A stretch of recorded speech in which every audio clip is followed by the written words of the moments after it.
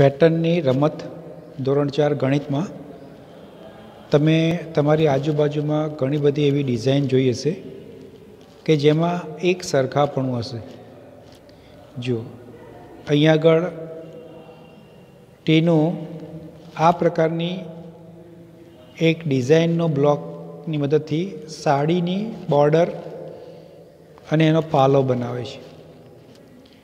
આ એક પ્રકારની પેટર્ન છે કે જે પેટર્નનો મતલબ એનું એ જ પ્રકારનું ચિત્ર અથવા એની એ જ પ્રકારની ભાત એની એ જ પ્રકારની આકૃતિ રિપીટ થાય, તો એને પેટર્ન કહેવાય. ગણિતમાં આંકડાઓ રિપીટ થાય અથવા કોઈ સિદ્ધાંત અથવા ગુણધર્મને આધારે સંખ્યા રિપીટ થાય તો એને પેટર્ન કહેવામાં આવે છે. અહીંયા બ્લોકનો ઉપયોગ કરીને ચાદર બનાવી છે, જુઓ. સરસ મજાની ચાદર કે જેની અંદર ખાસ પ્રકારની પેટર્ન છે. એમાં બધા વચ્ચેનું અંતર અને એ પણ તમે જોઈ શકો છો કે અંતર પણ સરખું છે. દાખલાથી આમ ત્રાસું જાય, આ રીતે જાય, આ રીતે જાય તમે જુઓ. તો પેટર્નનો મતલબ કે જ્યાં સમાનતા છે, સમાન ચિત્ર છે, સમાન પ્રકારની ભાત ઉપસાવે છે, ડિઝાઇન ઉપસાવે છે તે પેટર્ન તરીકે. આ દુપટ્ટાની તમે પેટર્ન બનાવી છે, એક સીધું છે, એક ઊંધું છે એ રીતનું. પણ એની અંદર રહેલી જે સમાનતા છે સરખાપણું છે તમે જુઓ, આ બધા ઉપરની તરફ છે, આ આનો છેડો નીચેની તરફ છે, યલો ઉપરની તરફ છે. હા, તો આ તમે જુઓ, એ રીતે આમ પણ તમે જોઈ શકો છો, સમાન છે. તો તમે વિદ્યાર્થી મિત્રો પેટર્ન માટે આવું તમે સમજી ગયા છો, શીખી ગયા છો. અને તેના વિશે થોડું ઘણું પણ તમને માહિતી ત્રીજા ધોરણમાં મળી હશે. હવે પેટર્ન જે છે, એમાં તમે પણ તમારી જાતે પેટર્ન બનાવી શકો. સમજો કે મારે પેટર્ન બનાવી છે, હું તો આનો ઉપયોગ કરું છું. મેં પહેલાંમાં એક વર્તુળ કર્યું, બીજામાં ત્રિકોણ કર્યું, ચોરસ કર્યું. ફરતી વર્તુળ કર્યું, ત્રિકોણ કર્યું, ચોરસ કર્યું. આ રીતે હું કરી શકું વર્તુળ કર્યું. આગળ વધી શકાય એ રીતે. અહીંયા વર્તુળ, અહીંયા ત્રિકોણ, અહીં ચોરસ, વર્તુળ, ત્રિકોણ ચોરસ વળતું. તો આ રીતે એક પ્રકારની પેટર્ન તમે ઉત્સાહી શકો છો. બીજી પેટર્ન પણ તમે જાતે બનાવો. જાતે તમે બનાવી શકો સમજો કે હું આ પેટર્ન કહું છું. નીચેની તરફ, ઉપરની તરફ, નીચેની તરફ, ઉપરની તરફ, નીચેની તરફ. આ રીતે હું પેટર્ન બનાવી શકું છું. તો અહીંયાથી સ્ટાર્ટ કરવું પડતી નીચેની તરફ, ઉપરની તરફ. આ રીતે પેટર્ન બનાવી શકાય. તો પેટર્ન અલગ અલગ પ્રકારેના ચિત્રો, સંખ્યા ગોઠવીને પણ કરી શકાય.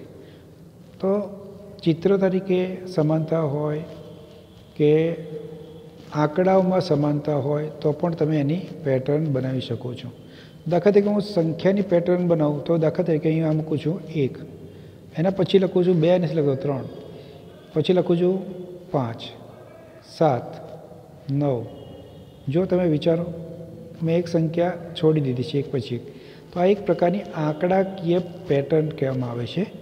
આંકડાકીય પેટર્ન કહેવામાં આવે છે. જો આ રીતે પણ તમે આની પછી કઈ આવશે તે તમે કહી શકો. આની અંદર પહેલાં એક પાંદડું છે, બે પાંદડા, ત્રણ પાંદડા, ક્રમિક ચાર.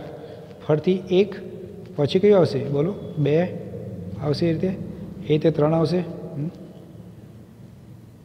રીતે ચાર પાંદડા આવશે. ઓકે? એ જ રીતે તમે નીચેની પેટર્ન કરો. આ બધી પેટર્ન તમારે તમારી નોટબુકમાં દોરવાની છે. જો આમાં શું છે? તો ઉપરની તરફ બે, નીચેની તરફ બે. હવે ઉપરની તરફ ત્રણ, તો નીચેની તરફ ત્રણ. હવે નીચેની તરફ આવી ગયું એટલે ઉપરની તરફ ચાર. એક, બે, ત્રણ ને ચાર. તમારે ઉપરની તરફ ચાર કરી દેવાનું. એ તે નીચેની તરફ ચાર. એક, બે, ત્રણ ને ચાર. એક, બે.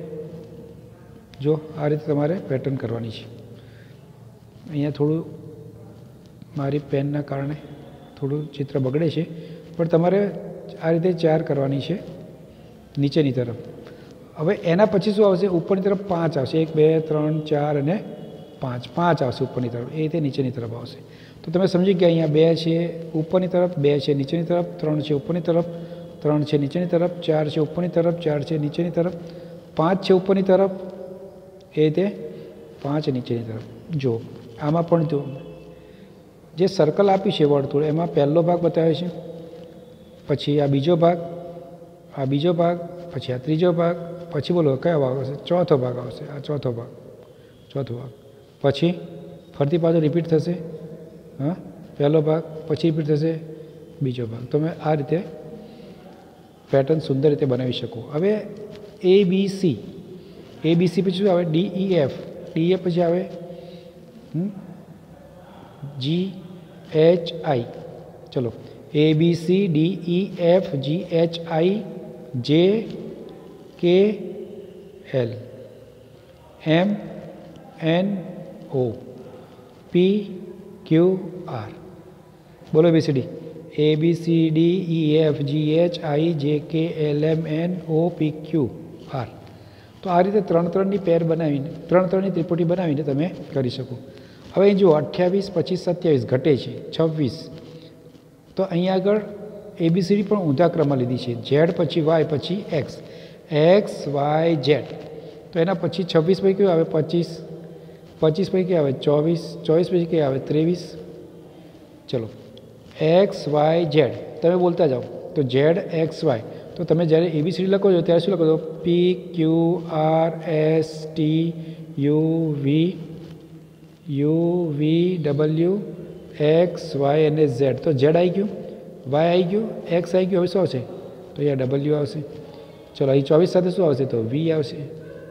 અને યુની સાથે શું આવશે? વીની ત્રેવીસની સાથે યુ આવશે. તો આ રીતે એને ઉતરતા ક્રમમાં સેમ તમે છ્યાસી, છોતેર, દસ, દસનો તફાવત છે. છ્યાસી, છોતેર, છાસઠ, પછી છપ્પન. બોલો? પછી શું આવશે? છેતાળીસ. પછી છત્રીસ એ રીતે મૂકતા જાઓ. અને એની બાજુમાં શું છે તમે જુઓ. બાજુમાં શું છે? તો કે બધામાં ચાર નક્કી છે. તો અહીંયા આગળ બાજુમાં નક્કી છે. તો તમે એ રીતે સંખ્યાને સેટ કરો. ચલો, પહેલી કઈ આવશે? આઠસો ને ચોસઠ, સાતસો ચોસઠ, છસો ચોસઠ. હવે ક્યાં આવશે બોલો? પાંચસો ચોસઠ. પછી બોલો? ચારસો ચોસઠ. પછી બોલો? ત્રણસો ચોસઠ. આ રીતે તમે એની પેટર્ન જોઈ શકો છો. જો, કયા? શું થયું? આખા સો સોનો તફાવત થયો. આઠસો ચોસઠમાંથી ઓછા થઈ ગયા સો, તો સાતસો ચોસઠ. એ રીતે એની પેટર્ન બદલી જાય છે. તમે અંકોની અલગ અલગ કરીને પણ પેટર્ન સમજી શકો.